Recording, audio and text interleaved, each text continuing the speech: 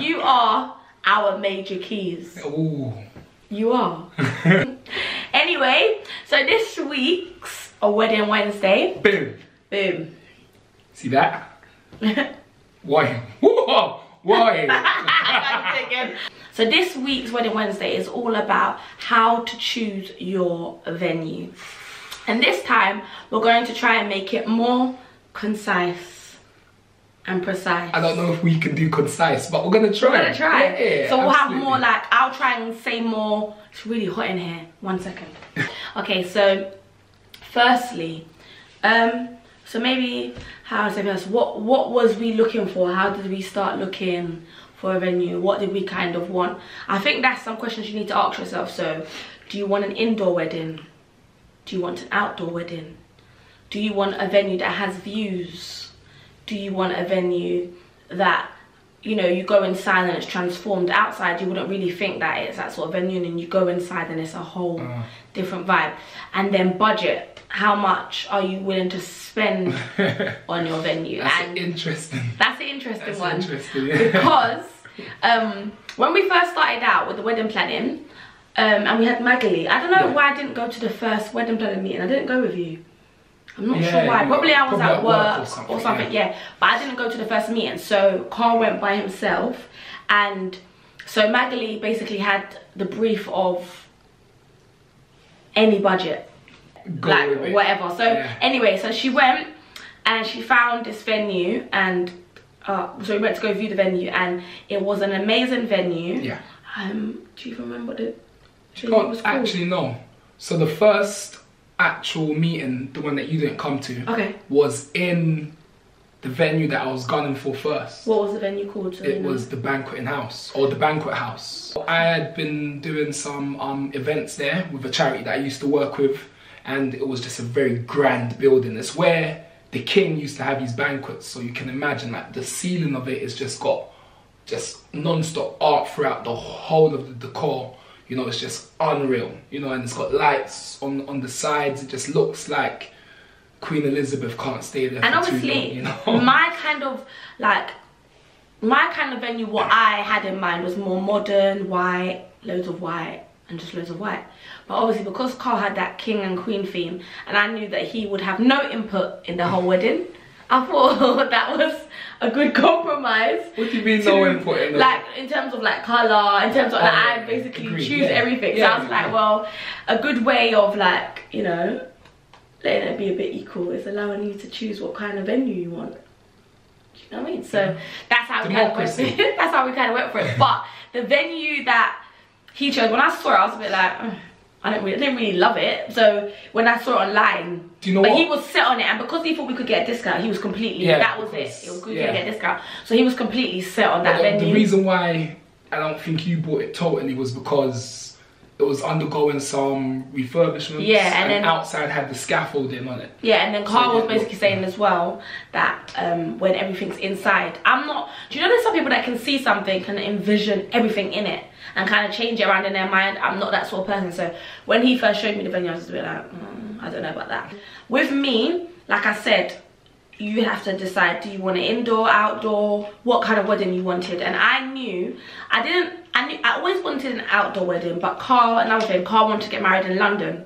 So I knew that there wasn't that many venues that were gonna have an outdoor, beautiful, pretty space. So Yeah. I was a bit like, okay, if that's not the case, how I, what I don't like about weddings, and this is just me, preferential, what I don't like about weddings is when weddings is when you know you go from you're in the, the venue and it's just like it looks all it basically just looks the same you go from the church many people go from a church to another venue and you're just sitting in that same room the whole time and i was like i want it to be a bit more of an experience so for my guests when you come in there's one thing and then you go to another place and there's another thing Yeah, and no, you you go through to another thing and there's Cash another is thing impossible to and work then you go through to another thing and there's another thing so She wanted Wonderland. She wanted to I borrow it from Alice. Yeah. Wonderland. So I was like, I wanted people on stilts, and I wanted, I wanted so much, even though that's not what happened in the end. but I'm gonna create, I'm gonna create an event like that. So Yeah. don't worry about that. Don't worry about. We're working on something, the Lockton experience, baby. but anyway, yeah. So obviously, um, when I told the wedding planner that, she was like, okay. She kind of kind of understood, but was a bit like, so you want a um, concert in your wedding? Because that's like that's how it was going, in a circus and a fun fair and like a games room. Like, What's your budget? What's your budget? What's your budget? The, the B word. When it comes to planning a wedding, the budget? B word. That is a big boy, thing. But is- while planning, so I'd say, especially in terms of like the venue and stuff like that, one thing I'd say to you is like think about the biggest and the best of what you want and then try and find like ways to scale it down and mm. something that will fit what you want but within your budget. Does that make sense? So i saw yandi's wedding wanted her level of flowers then saw that her flowers cost 200000 i was like karl you got that so he didn't have that so i could have it you know what i mean so we had to scale it down and as you go through planning especially if you have a wedding planner your wedding planner should be able to do that but if you don't have a wedding planner as you go through planning you'll see ways to scale things down Yeah. and there'll be different videos about top tips on how to top tips on how to budget while you're um and plan what you're doing. But yeah, so I had that idea. So we went to visit this place. I think it's called Number One. I think It it, was called the Number One. But they have a different. They have like different venues, and this one is in. Is, is it Euston? Hmm. Not Euston. Actually, Euston Station. It was by there. I think it's right by Euston Station. So when you, if you Google it and you want to see about it, and this venue, it was a very pretty venue, and it's like in the middle of like almost a, it's like in the middle of like a junction or something. it's beautiful. But it's got like its own like surrounding gates, and then you can have like fire at the front, Yeah. and there's like different levels, and there was like a dungeon in it, and I was Yeah. like, yeah, we could create something. We had people walking around on stilts, and I had all these ideas, but I don't know where she got the stilts I don't know. from. So they had these big like pillars yeah. like and then walls like but the dance howard but what i like like i said is that the first floor had like a fake church in the back and i was like yes with stained glass windows and i was like yeah, we get married here Yeah. and then the second floor was more like drinks reception white beautiful Yeah. i was like it yeah had it going. It was popular. drinks reception. and then the was third obviously go downstairs and you Yeah. dance yeah, I had I was like, this is it. See, that's I was, Wonderland. Look, I was convinced that that was it. And then, but the only thing, obviously, my wedding planning, and this is what I'm saying about checking little things in your head. You might not have a wedding planner, but just think about things like the toilets. Sit like you wouldn't maybe think about, but the toilets in the venue um, was like they had two toilets and just single toilets. So a wedding, a Caribbean wedding, an African wedding, an Asian wedding, them sort of weddings that you're gonna have um, over 300 people, you can't just have two toilets. Do you know what I mean? And then it was like, where would I get changed? And Yeah. it kind of wasn't. It was a bit like, uh, yeah, it weren't really working. I mean, obviously your bridal party, my bridal party was getting changed. Where would they get changed and stuff like that? But it is a beautiful venue. And um, our wedding planner came back with the budget, and it was 89k or something like that. Yeah, something dark. 89. Yeah. Wait a minute. Wait, wait a minute. Hold, wait. First of all, you're not gonna speed past that like you didn't just say what you just said.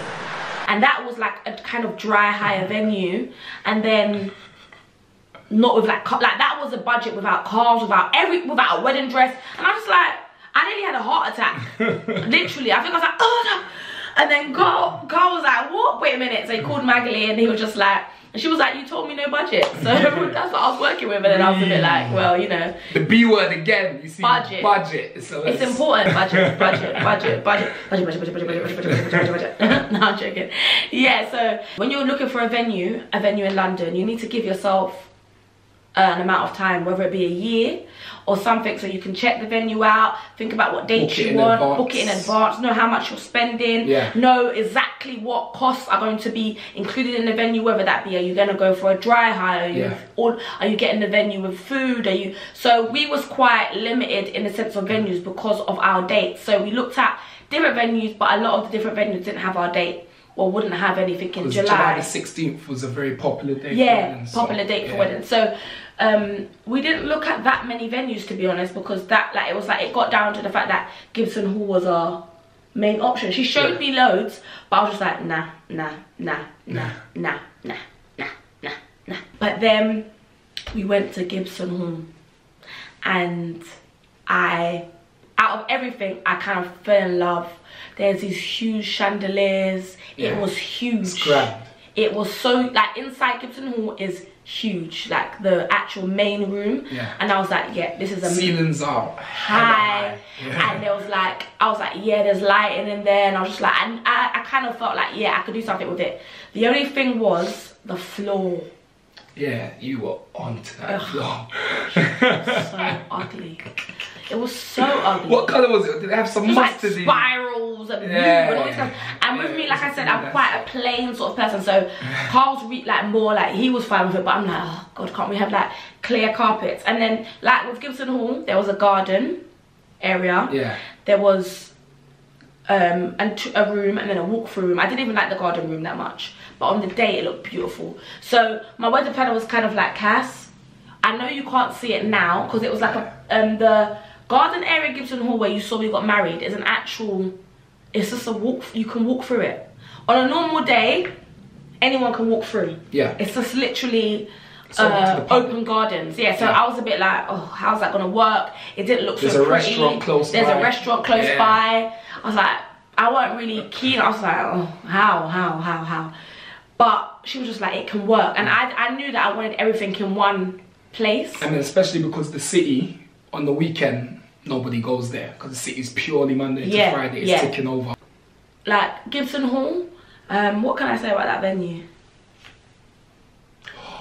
Do you know what is? Before we give them their slewing, yeah, because they're gonna get their slewing. You see that there is there for a purpose. Yeah. this is name and shame time. Name and yeah? shame. But before we get to that, there's actually something that's quite special about how it all came together. Okay. it was so I had seen that building so a couple years back I was doing a gospel twang of rap and I was going under the name Mr. Camon and I literally in one of my um uh, one of my lyrics in the song I said um I want to pl- place something I want loads of cream I want to live up in a place like Golders Green and it was where it's like an affluent area where there's lots of lovely homes and I, I was like I need some scenes that's gonna look kind of lavish. Mm. And cut a long story short, exactly where we did scenes of the video Was is Gibson Hall. where we got It's married. actually I couldn't Gibson actually Hall. believe it. The Golders Green, I'm tired of smelling the ends kinda help to not a sore loser. I be known for winning, let me forget you. These rappers can't touch the place where he was recording the music video in the time of his life where he was Yeah. and you know to then to like it's just, it was just like god showing a whole 360 Yeah. on life and on how he can take you from there to here Yeah. like you was outside that venue thinking oh wow what a beautiful venue yeah doing, and then now to now us getting married doing the deed there. doing the deed Come there. on, man. Come on, man. Come on, man. It's working, baby. Working. it's working for me It's. You hit me a bit hard. Ow. yeah, but um, the reason why I say thumbs down is because yeah, is because literally, like with Gibson Hall, like I can't I can't pretend and act like they were really patient in terms of when my mum passed away. Yeah. Yeah, and they they um But you should be. you sh- No one can You prep for be. that. You know. you should be, yeah, it's true. You should happen, be. It, ha- it happened. Our wedding planner did tell us to get um wedding wedding insurance. We didn't listen because, like human beings that we are, Trust. You see how fellas go. Trust your barber. Trust. Trust your wedding. Trust planner. your wedding planner. Trust. Yeah. Trust your trust wedding in your barber. Trust in your wedding planner. So um, you see how they say wedding ins um what, see when like when it comes to your wedding, that's another thing. Get wedding insurance. Yeah. If you like, just get it. It's not that expensive, and it will save you a lot of hassle Definitely. in terms of like if anything, Anything happens can on the day. Like Yeah. any, like remember, it's just a day. Yeah. So any disaster, natural disaster, like whatever could happen. So just get wedding insurance and pray. um, what's it called? So yeah, so they were really patient, and like Karl said, they should be patient. Yeah, and I didn't really think about it like that, but they should be. And then it's kind of like we just started getting costs from left, right, and center. So it'd be like VAT. Oh, we forgot to tell you about it. there's this next hidden charge. And then now the company had made a merger With with, another another, company, company. so- so now there's a new new thing going on. But and at the end of the day, for that too. we, Psych. paid. We've we've been told a certain amount. Yeah. And then We had a contract. which is yeah contract to be signed, and then that is a cost that you've fixed. When you're planning a wedding and you're already stressed and finances are already low, Yeah. to keep getting extra costs just thrown in out of nowhere, and then it being like, well, you can't have the wedding on the day then. So Yeah. I was getting so angry, like, Yeah. and then it would be like, imagine kitchen, what was it? A kitchen, um, some sort of kitchen fee. So basically, because you might leave the kitchen messy, you have to pay two grand Yeah. and to use their fridge. Yeah, yeah. And then obviously deposits that you could get back. But I'm just like, you like You okay. But after me, you said should that at the beginning. Should have specified. And after us giving you that two thousand, whether or not we're getting it back, that's a loss. Yeah. Does that make sense? For them, like, Yeah. so it was just really, really frustrating. They're so strict on vendors. You can only Yeah. use their vendors.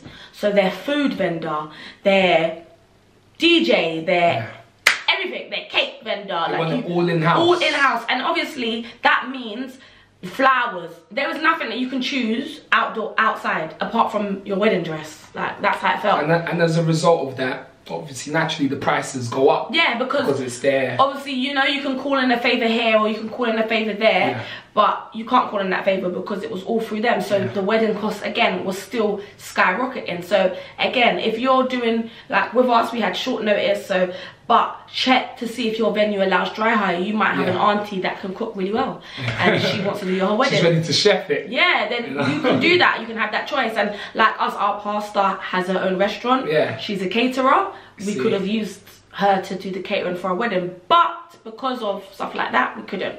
Um, in terms of cake, all of that kind of stuff, like Even down to the photography and the videographer. They wanted you have to get certain um insurance for insurance, that, li- licenses for that. licensing, Yeah, and like it just. And then in order for us to get our DJ rough and tough, Why? We basically had to kind of be like, do you play Afro beats? no, you don't. Do you play? Do you play R? Like, do, do you know this song? And then the DJ was like, no. So they was like, you can bring in your DJ, but he has to have this insurance. You have to pay us five. Like, just Yeah. crazy. So They're like, money hungry over they're there. money. they are. That's They basically are. what it was. They They're are. so money hungry, and obviously, what is so frustrating is if we had known then Yeah. that our wedding was gonna go viral and that they were gonna get so much business because of it because um, someone knows someone that works there and they were like they called basically someone called for a wedding inquiry and they was like oh is this because of the locked-in wedding and they were like yeah and they were like yeah we've had our phones have literally not stopped ringing since the locked-in wedding so Gibson Hall we done that for you Yeah, but you're bad people. but you're bad You're bad people. You're bad people. You are bad people. Oh. Yeah, yeah. we're gonna say it there you go. We're real. So you're bad people, but Gibson Hall, yeah. So guys, if you're gonna go with Gibson Hall, those are the challenges you're Yeah, gonna face. absolutely. Just And- bear that in mind. Bear that in Yeah. mind. But like I said, the wed the the wedding wasn't about the venue. It was about the people that were in the venue. So yeah, um, in terms of like venue and there's little things that you can bypass and just think about ways around it. Think about ways of how you can like hide this or hide that or make it look a bit better. Like with the garden area, um, there weren't really that many. Like I wanted like loads of flowers and stuff, and she got like two main centerpiece flowers, and she was just like, I was like, yeah, but I want more. And she was like, Cass, trust me, they're gonna be in that. Just think about a ceremony. A ceremony is only about an hour long.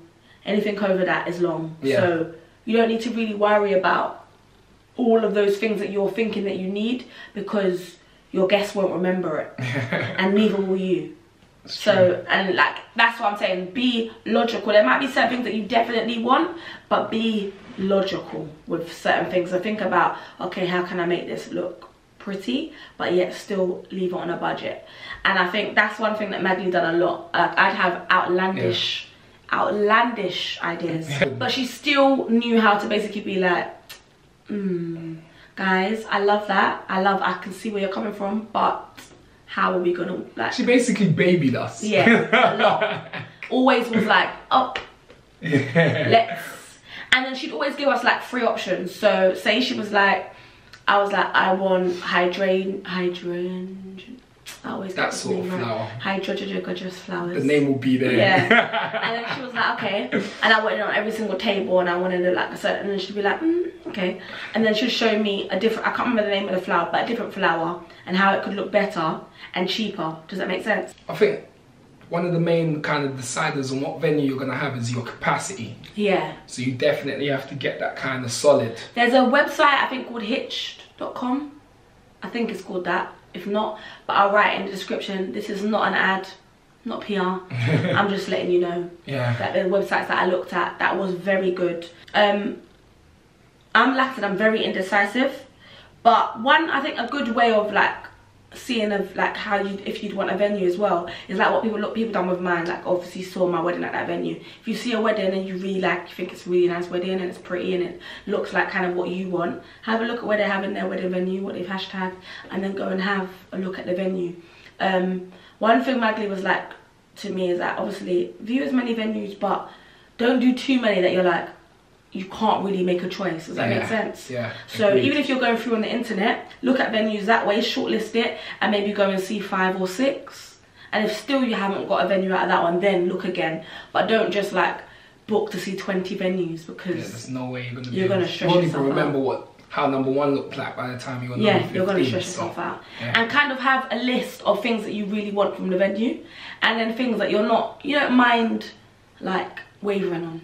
So for us, I feel like dry hire is really important if you Yeah. know that you're gonna want outside caterers. And you you want to bring down the bring down cost. the cost, dry Yeah. hire. We couldn't bring down the cost. No, Yeah, that- we had to firm that. Our friends friends Swade and EJ's team um Team you Team well.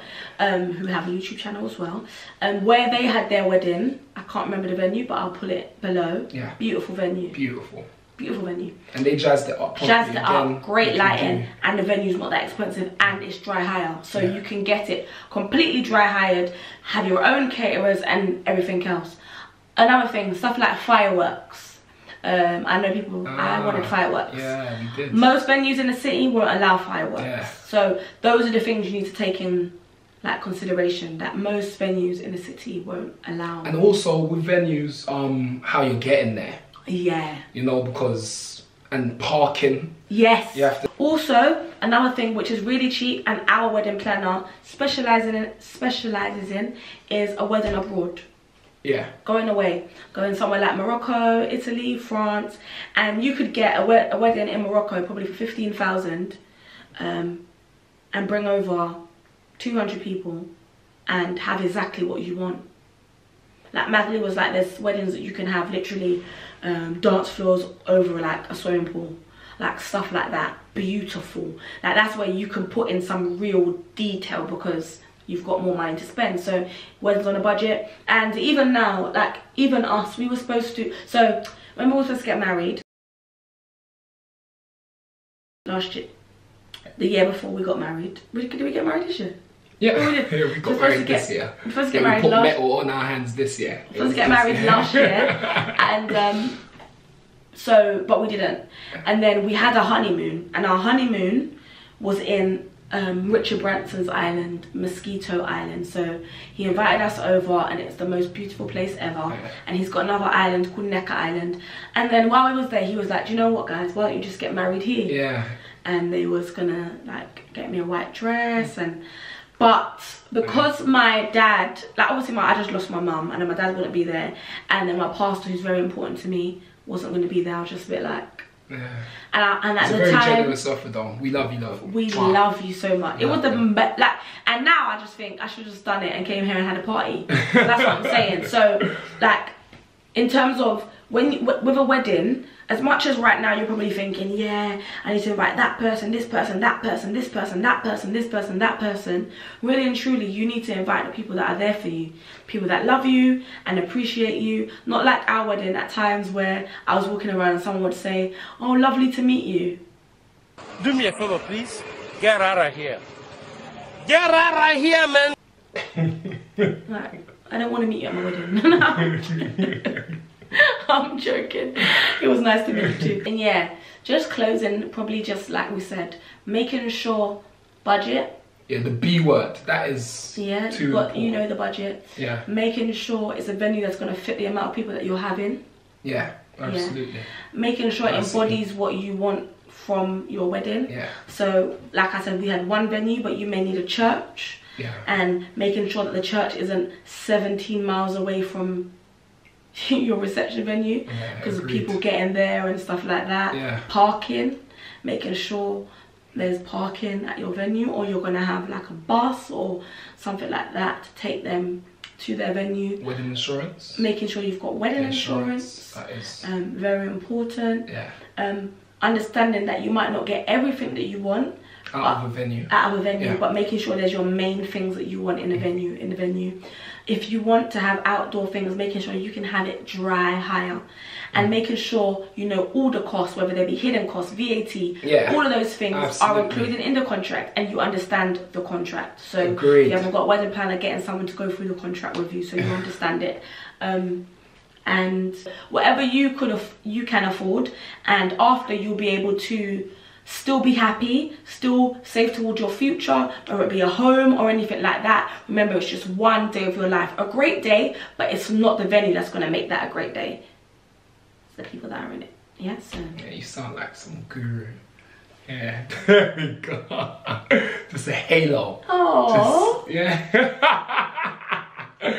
Listen, let's sign out, man. Yeah we love you guys stay locked in Stay next locked week in. for wedding Boom. wednesday Wedding Wednesday. please guys I, we don't ever say this but i see you watching So we're not doing that thing. wedding Wednesday. Come on. Okay, but please, guys, I see you watching and the views and everything, but subscribe. Yeah? guys if you want us to kind of do what we're doing you gotta subscribe to the channel and stay not say let say locked say locked in stay locked and be part of that notification gang. Be part of it. We see you. We look. We see you. We see you baby. Love you. Bye.